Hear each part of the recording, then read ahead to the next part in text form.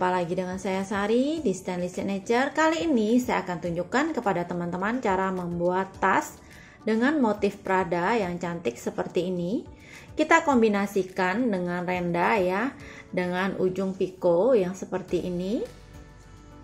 Untuk membuat tas ini teman-teman bisa gunakan satu warna atau dengan dua kombinasi warna seperti ini.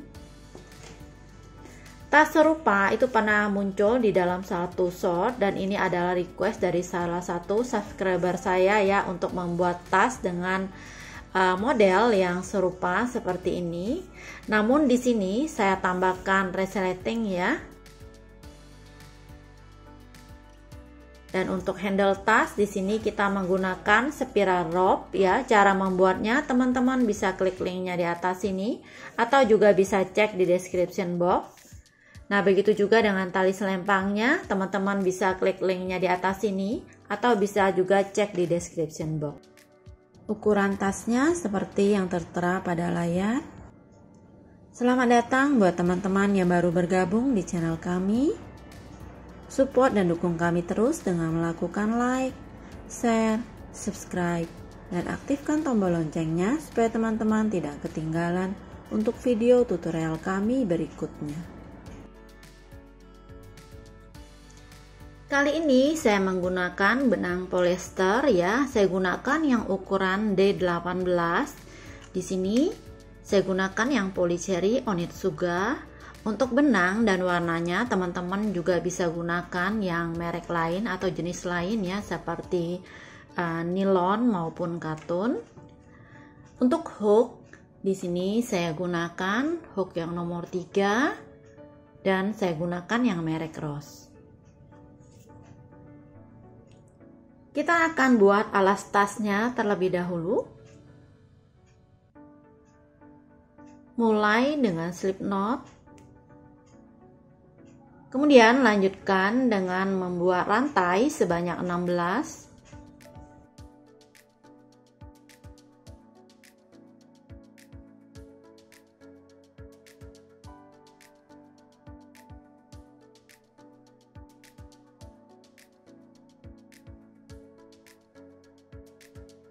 Setelah membuat 16 rantai seperti ini, selanjutnya di stitch kedua setelah hook kita akan membuat single crochet. 1 2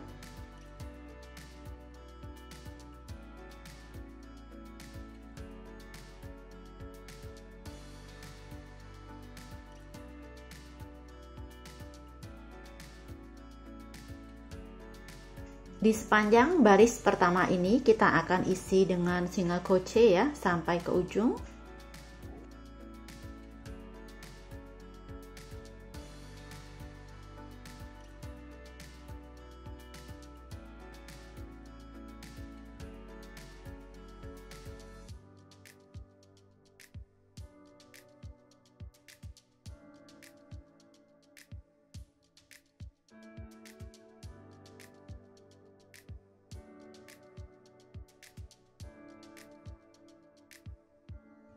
Total di baris pertama ini akan berisi 15 single crochet. Kita lanjutkan masuk baris kedua buat rantai 1 balik. Di baris kedua kita akan isi kembali dengan single crochet sampai ke ujung.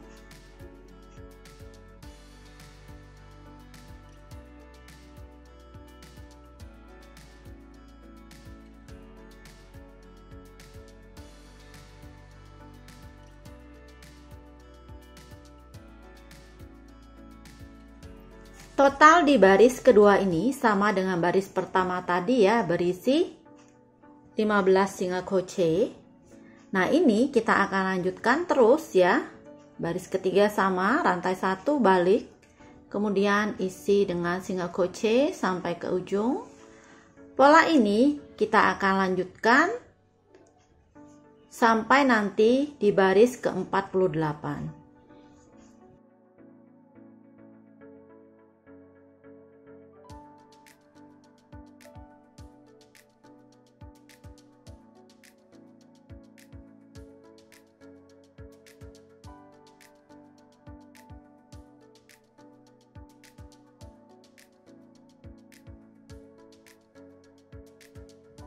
Nah, ini kita sudah membuat bolak-balik ya sampai 48 baris, kira-kira seperti ini.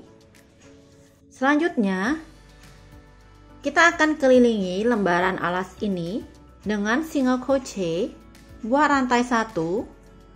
Di ujung sini kita isi dengan single crochet seperti ini.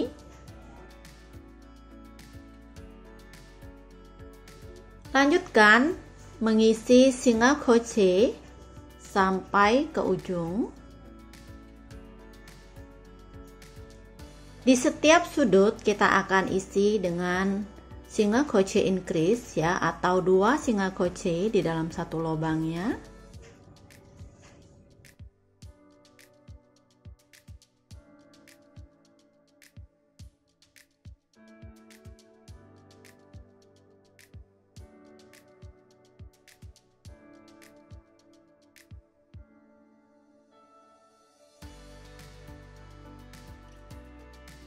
Ini adalah titik sudut kedua ya. Di sini kita akan isi dengan single crochet increase. Kemudian lanjutkan mengisi single crochet sampai nanti ketemu di sudut ketiga.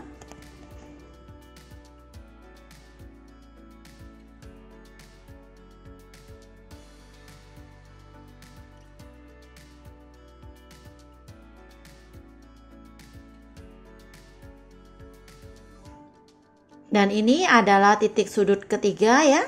Kita akan kembali isi dengan single crochet increase.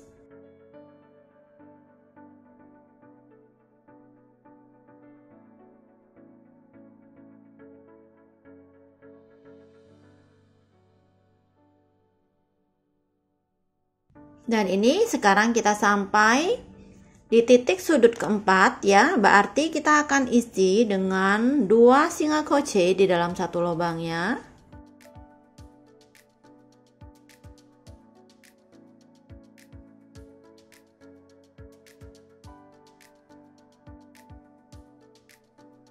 Yang kita beri stitch marker ini adalah stitch pertama di sudut pertama ya. Sekarang karena ada satu single crochet di sini, kita tambahkan dengan satu single crochet lagi supaya genap berisi dua single crochet di sudut ini ya. Kemudian lakukan slip stitch.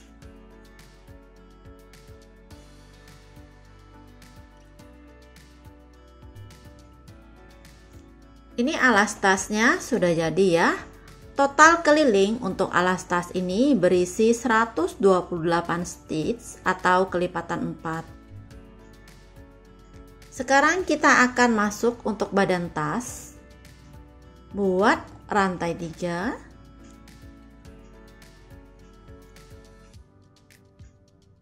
Di lubang yang sama kita akan isi dengan 3 DC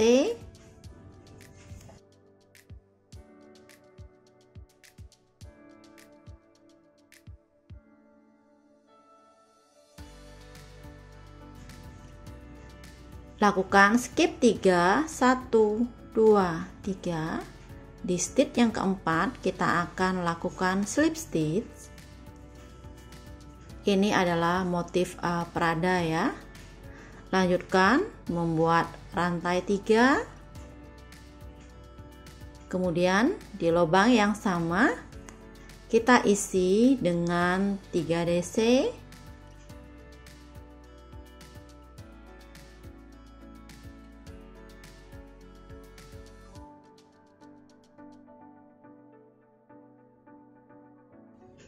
lakukan skip 3 1 2 3 di sini di stitch keempat lakukan slip stitch ulangi pola ini ya sampai kita mengelilingi putaran pertama badan tas ini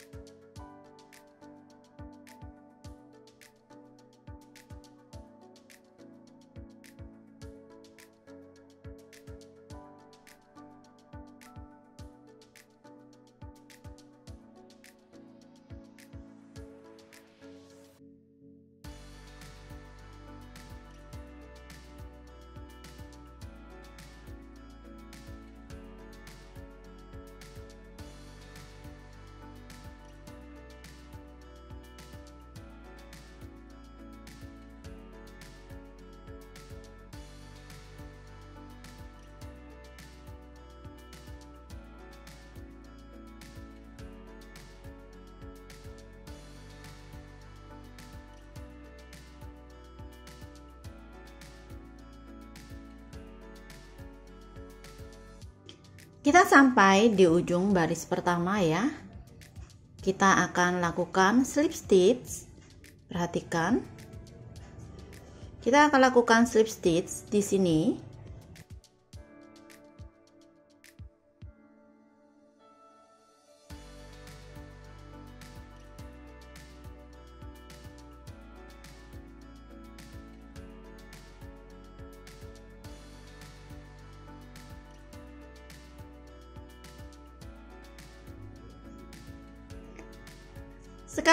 akan masuk baris kedua untuk badan tas. Perhatikan ya, ini adalah posisi bagian depan. Sekarang kita akan balik. Jadi posisi bagian dalam itu akan menghadap ke kita ya. Seperti ini. Di sini kita akan lakukan slip stitch sebanyak 4 kali. Perhatikan.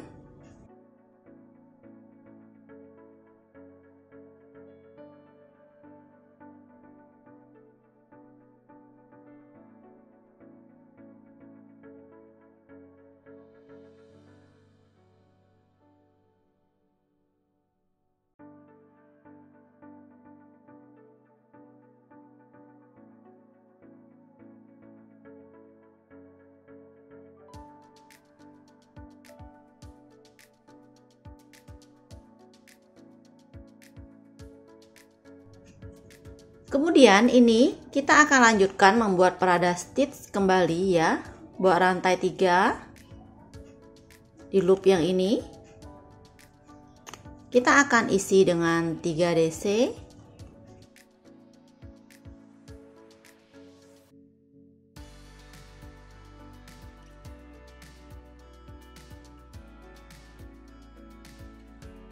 Kemudian lakukan slip stitch di sini ya.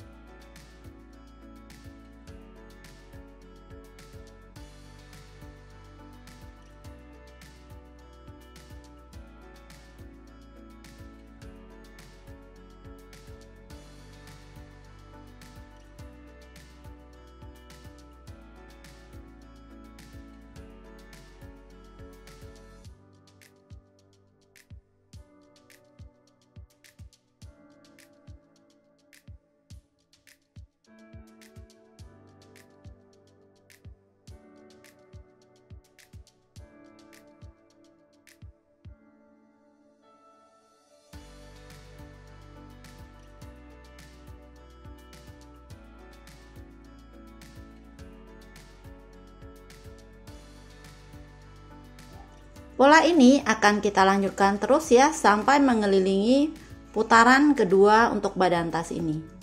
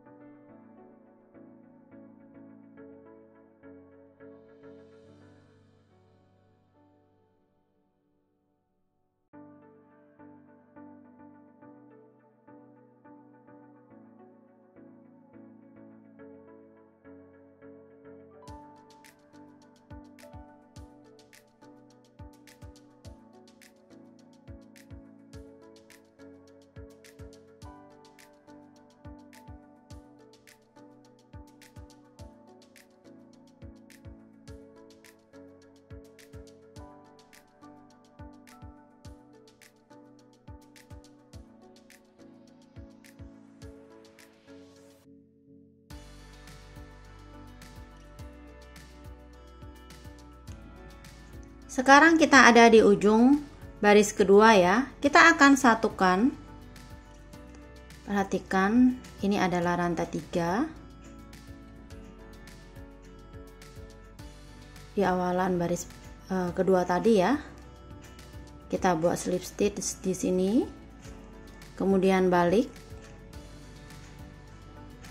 Kita akan mulai masuk untuk baris ketiga. Di sini posisi bagian depan menghadap ke kita ya Buat slip stitch sebanyak 4 kali.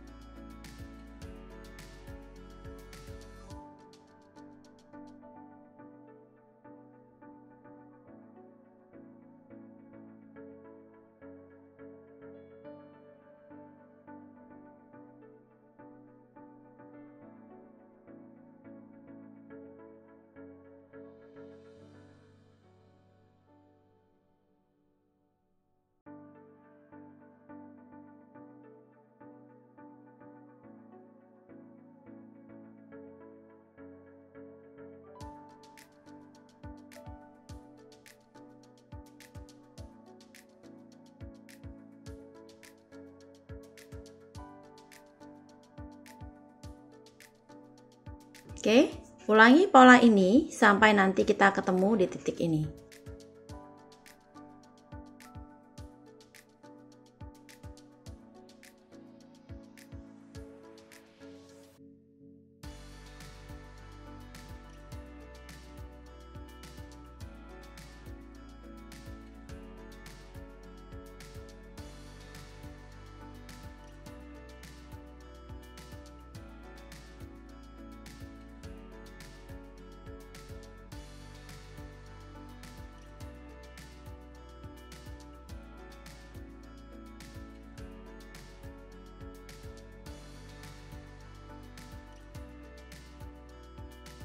Pola baris kedua dan baris ketiga ya akan kita ulangi sampai mendapatkan tinggi yang kita inginkan.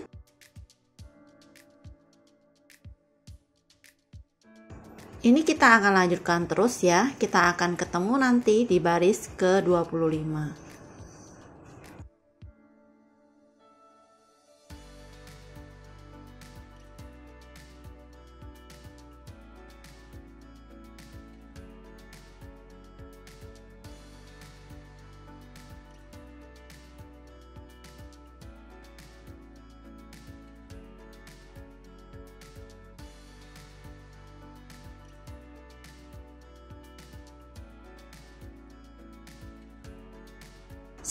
Harus sudah sampai di ujung baris ke-25.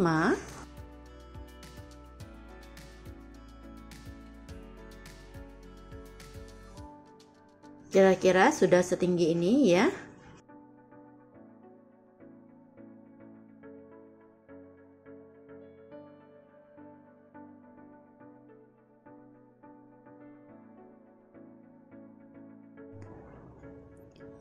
Sekarang kita akan masuk ke baris 26 buat rantai 1, kemudian di sini kita akan isi dengan single crochet. Pada baris ke-26 ini kita akan membuat single crochet keliling ya. Single crochet kita isi di sini. Kemudian lanjutkan membuat single crochet di atas DC ya. Jadi bukan di rantai 3 tapi di atas DC yang ini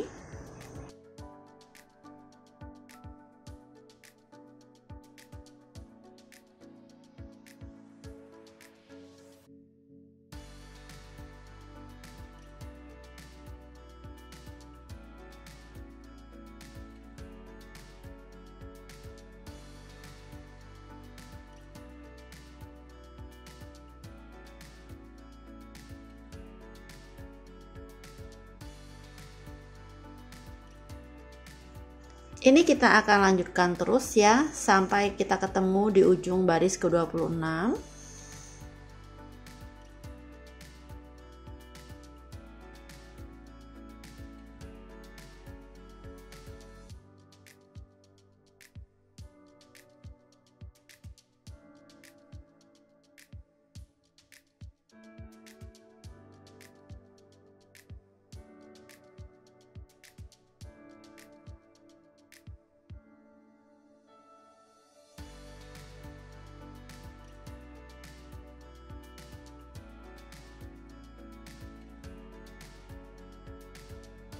Stitch marker ya. Kita akan buat single crochet untuk masuk baris ke 27 jadi kita langsung buat single crochet tanpa melakukan slip stitch di sini. Di baris ke 27 dan baris ke 28 kita akan buat single crochet keliling ya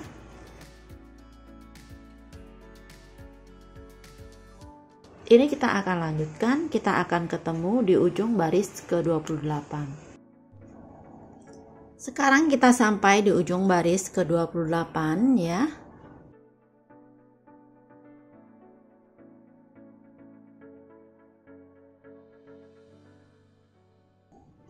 Tanpa melakukan slip stitch kita akan membuat single crochet untuk baris ke-29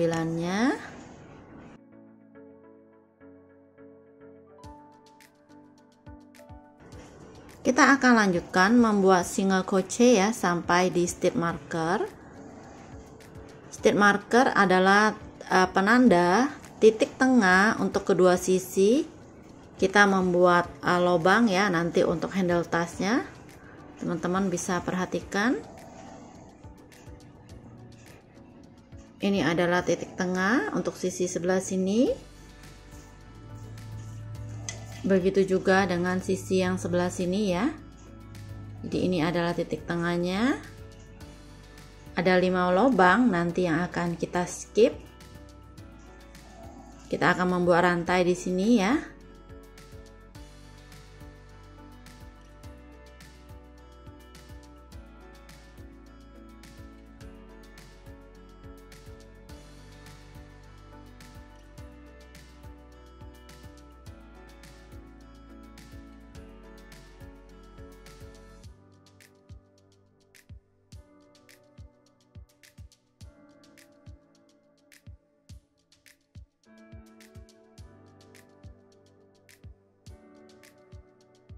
sini ya, kita buat rantai 5.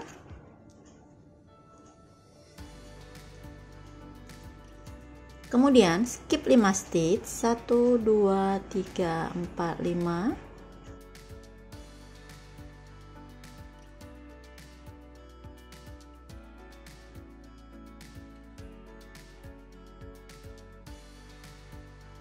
Jadi kita cukup pastikan ini ada pada posisi pinggir ya ikuti saja. Nah di sini saya ikuti titik yang tengah ini. Jadi dari sini skip 5 stitch kemudian lanjutkan dengan membuat single crochet sampai nanti ketemu di sisi sebelahnya lagi. Kita buat atau lakukan sama persis ya untuk membuat lubang seperti ini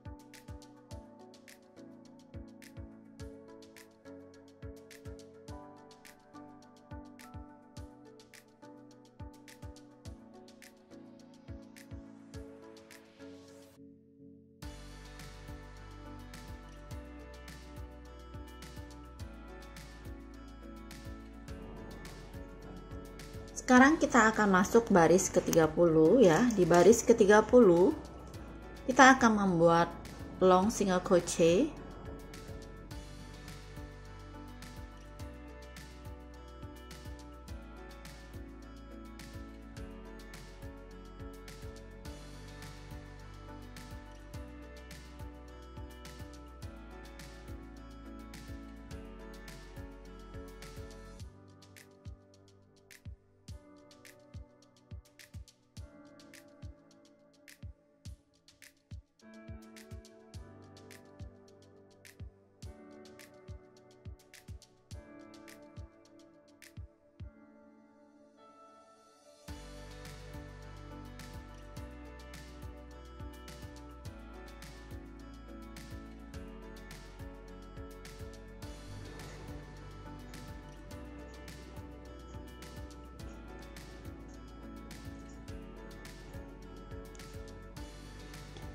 dan di rantai ini kita isi dengan 5 single crochet ya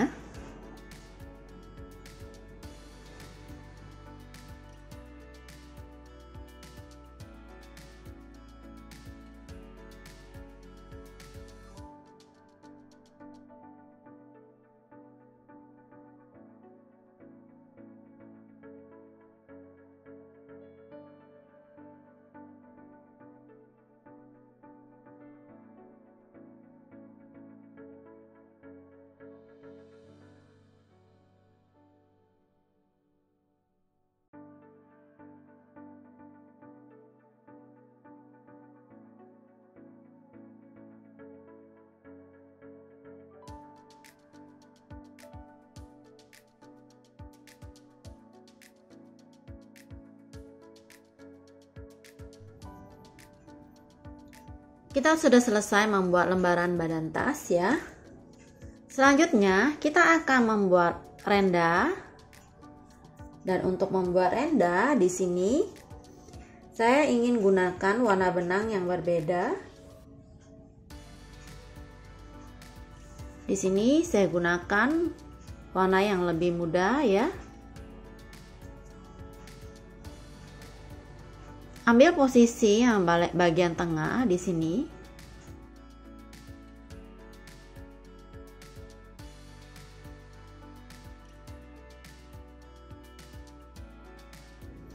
Kita mulai dari titik ini ya. Kemudian buat rantai sebanyak 10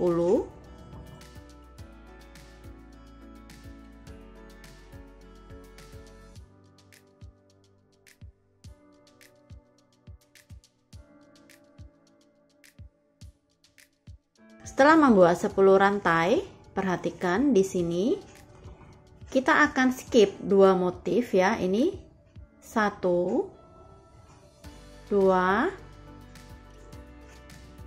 buat single crochet di sini.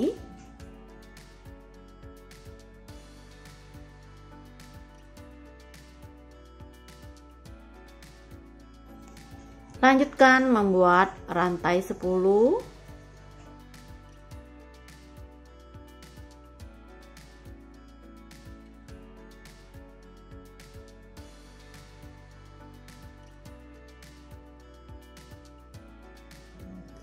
skip ya dua motif yang ini. Satu dua. Di sini. Buat single crochet berikutnya. Ini kita lanjutkan ya sampai nanti kita ketemu di titik ini. Ulangi terus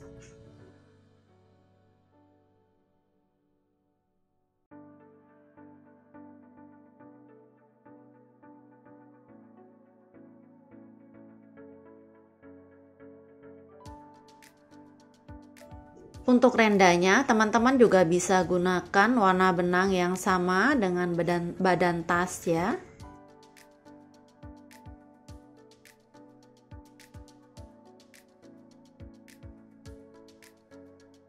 Kita akan satukan dengan yang di sini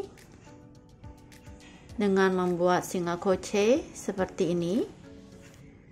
Selanjutnya, untuk membuat renda ya, kita putar posisi menghadap kita seperti ini. Lakukan slip stitch sebanyak lima kali.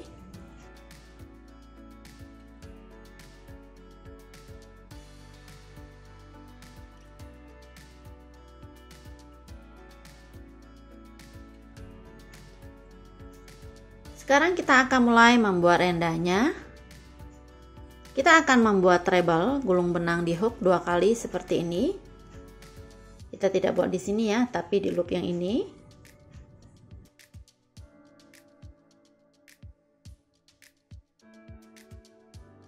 Buat treble seperti ini. Kemudian di atasnya kita tambahkan picot ya setelah rantai 3 lakukan slip stitch di sini. Seperti ini ya. Isi treble.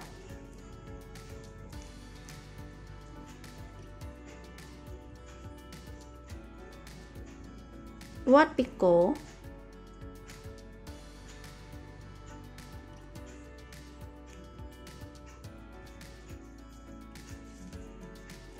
Treble dengan piko ini kita akan isi di dalam loop ini sampai 10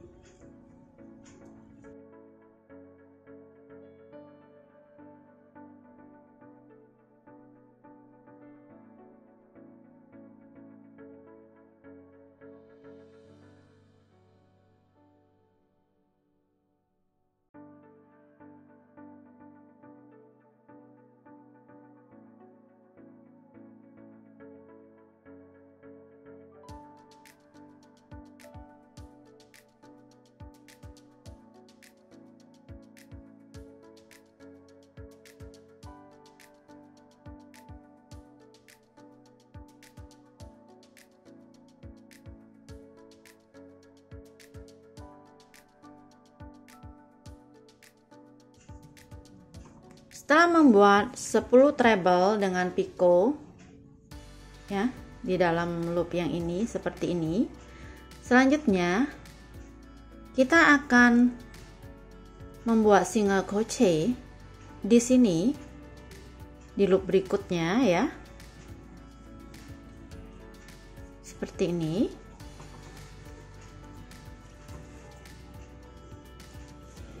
Kemudian Lanjutkan dengan membuat treble sampai 10 10 stitch ya di dalam loop yang ini. Dan pastikan untuk membuat picot setelah membuat treble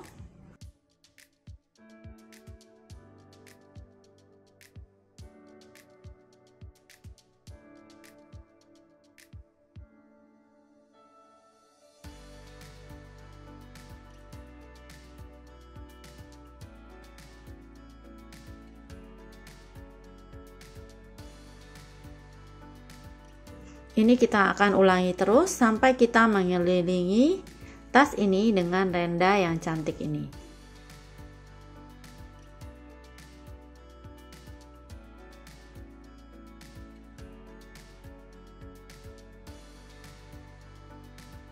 Oke, ini renda terakhirnya ya. Sekarang kita akan satukan dengan yang di sini.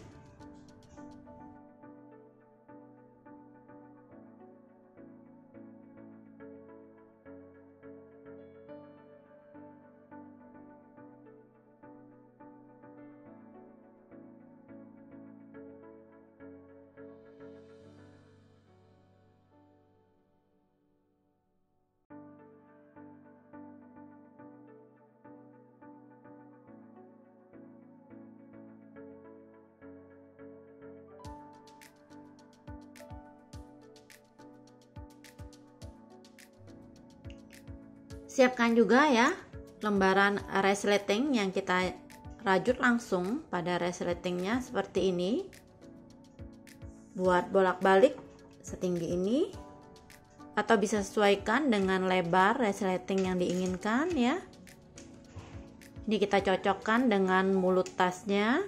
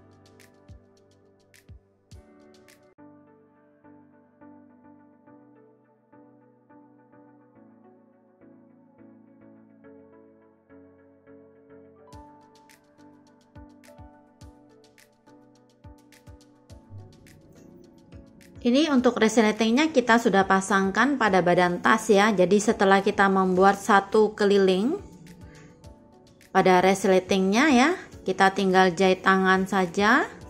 langsung pada badan tas, posisikan pada bagian uh, pada posisi yang benar ya. Seperti ini. Jadi ini cukup kita jahit tangan.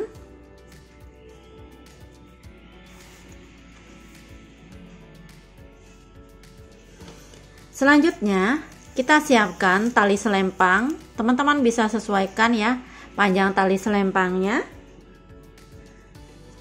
Di sini saya juga siapkan uh, tali handle untuk bagian tengah tas ya, kurang lebih 30 cm untuk kita pasang di sini. Dan di sini untuk uh, panjang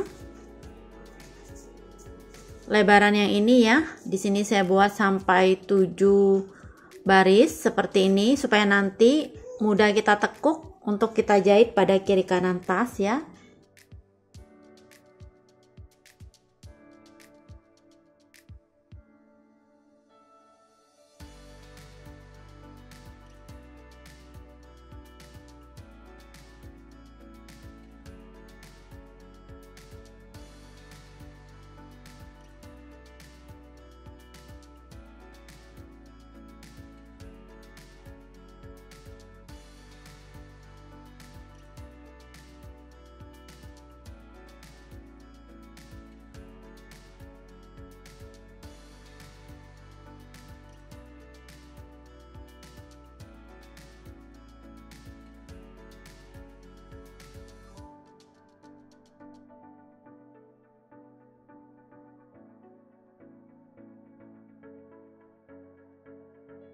Terima kasih buat teman-teman yang sudah menyaksikan tutorial kali ini. Sampai jumpa di tutorial kami berikutnya.